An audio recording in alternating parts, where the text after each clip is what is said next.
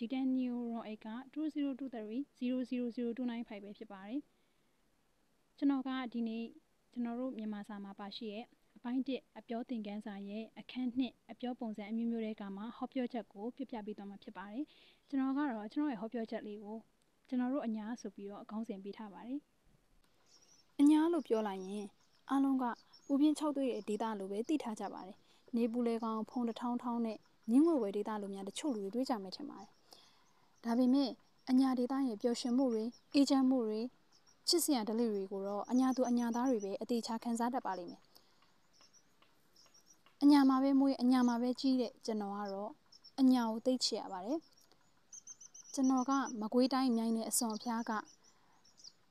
66တွေ့တွေ့လက်ဖက်ဆိုင်မရှိမြို့နယ်လည်းအလန်းဝေးလာတဲ့ဂျောင်းကြကြရွာတရွာကအညာသူပါကျွန်တော်ကိုယ်တိုင်အညာ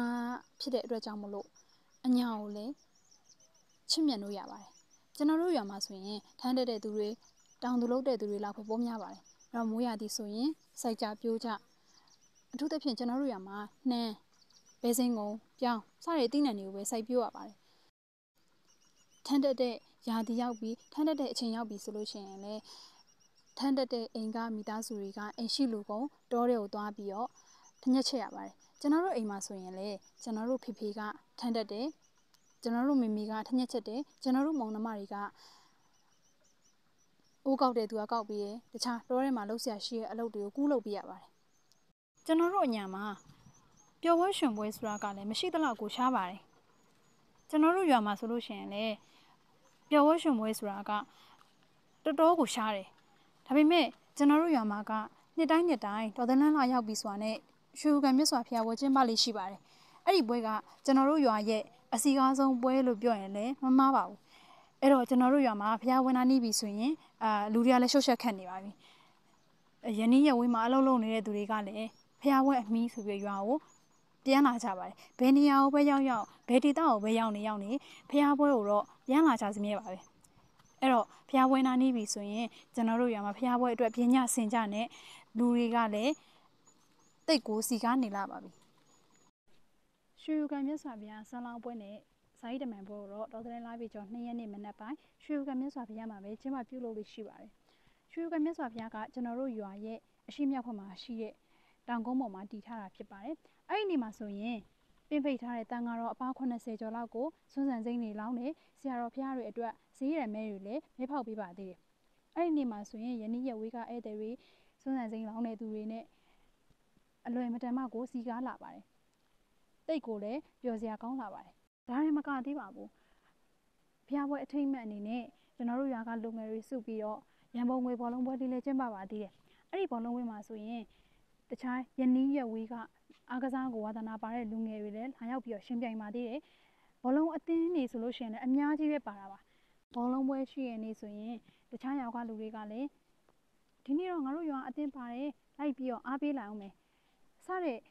လူတွေလည်းရှိသလိုဒီတိုင်းလာရောက်ပြီးတော့အားပေးရတဲ့လူတွေလည်းရှိရပြီးတော့ကျွန်တော်တို့ရွာကကျွန်တော်တို့လို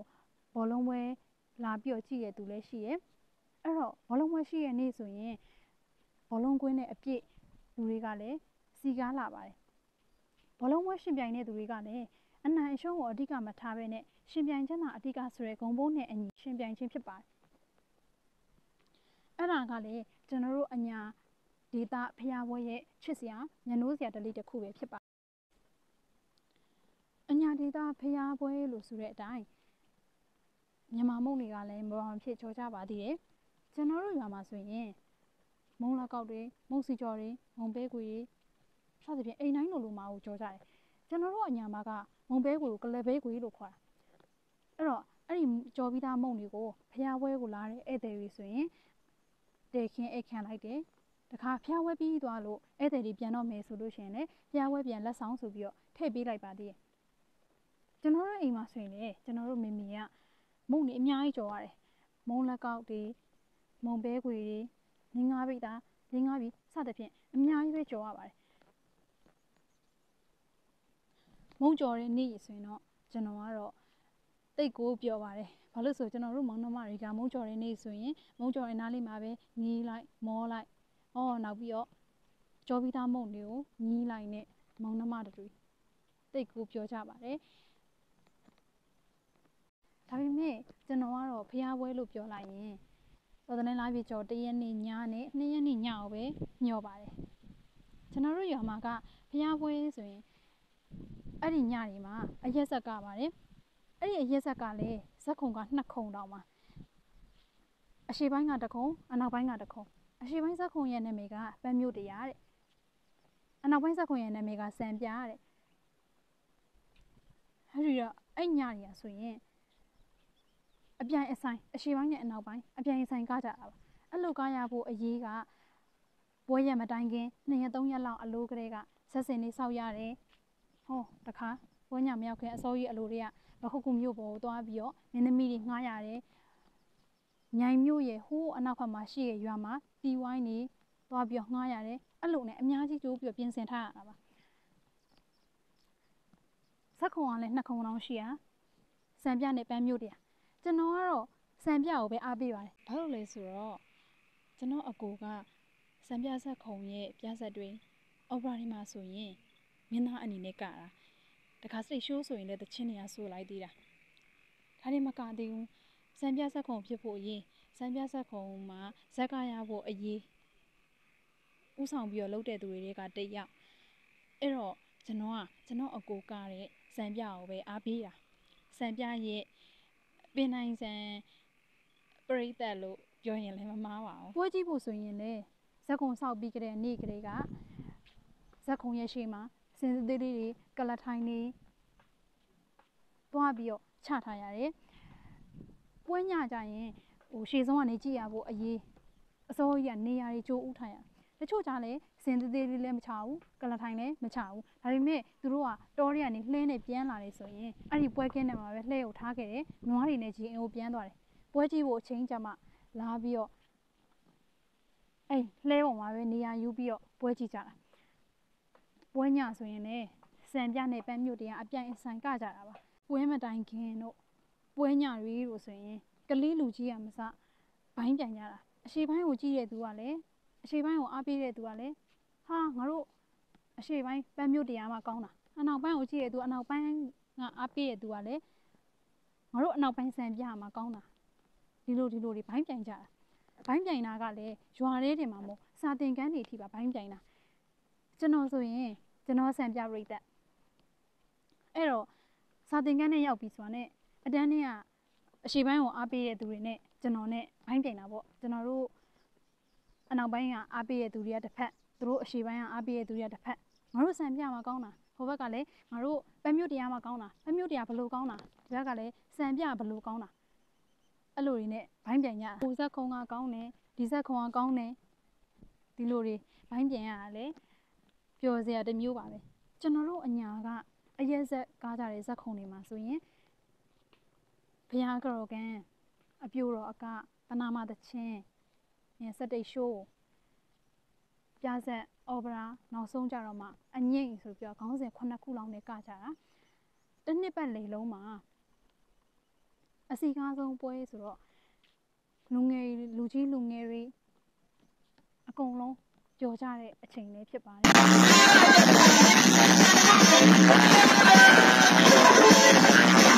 ် Thank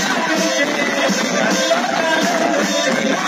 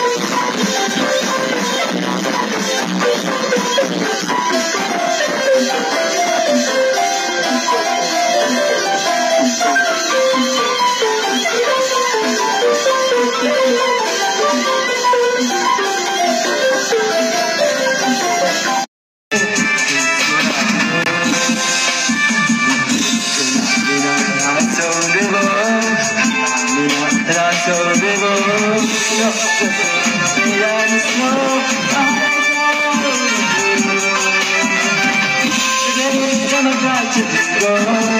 go, go.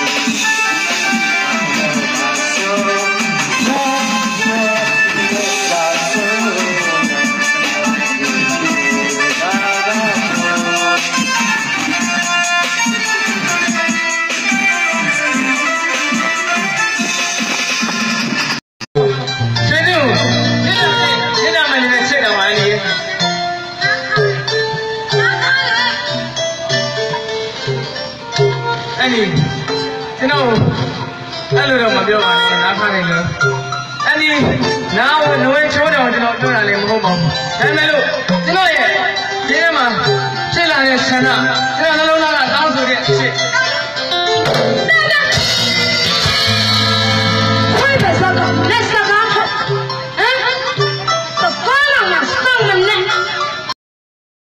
ွန်တော်ကစံပြပရိသတ်တယောက်ဖြစ်တဲ့အတွက်ကြောင့်မလို့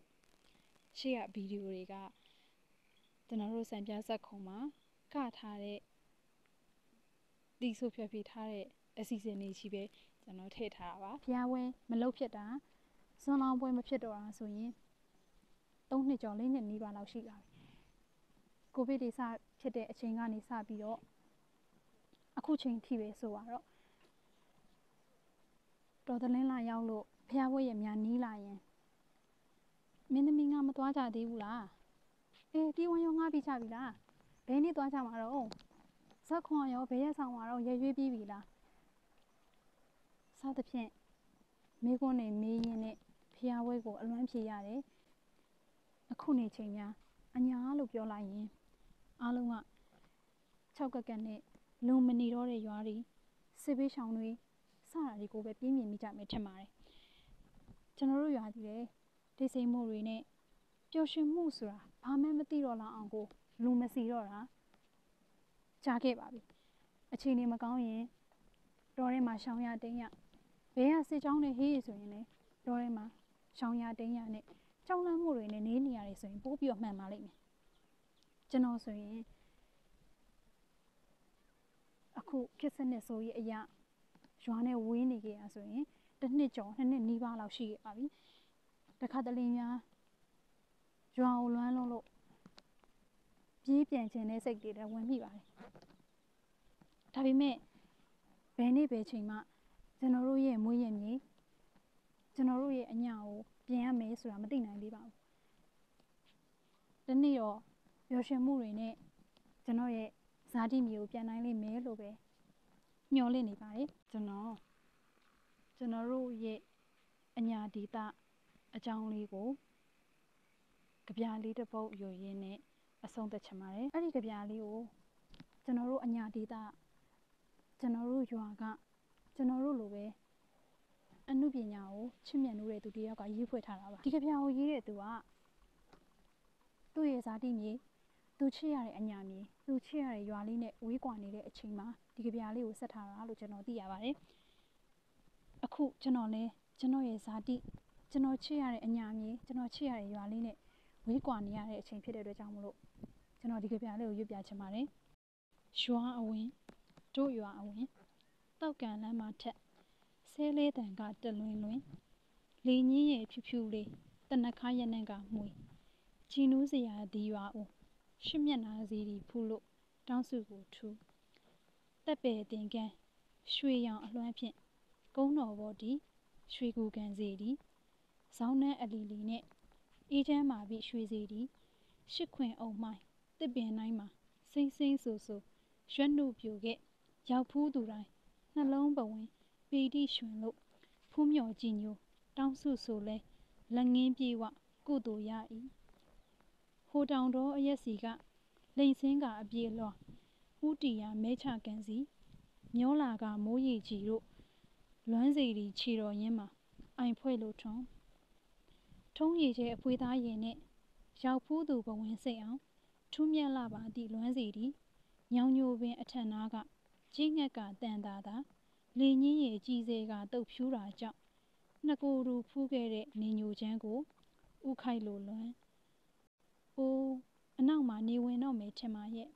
ဟိုဝေးကမွေးရမြေနေလို့မှကောင်းပါရဲ့လားအပြာရောင်ကောင်းခင်အောင်အရက်ကလက်တယ်နဲ့ဒီမြေမှာခြေချ ဒီအဖေဒီအမေကမွေးဖွားလိပ်ပြာလာတဲ့နှလုံးသားနဲ့တိတ်လာတဲ့ငါတို့ရွာမင်းအရေးအောက်ကအမေအိမ်လေးလောက်ဘယ်အရာမှမငြိမ်းချမ်းပါဘူးအလေပြန်လာတဲ့အခါတိုင်းရွာအဝင်ကနေနှွေးထွေးစွာကြိုဆိုပေးတာအမောပြေလုံးလို့မေ့မရပါဘူးဗျာဓမ္မမြေမှာကြီးပြင်းခဲ့ရတဲ့သူမို့ကျွန်တော်တို့အသက်အရွယ်တရွေ့ရွေ့ကြီးလာပြီမဲ့လေတေချာကြည့်ကြပါအောင်ဗျာကျွန်တော်တို့မွေးရမြေလှစေနှုစေသိ တ်လာတော့မှာပဲ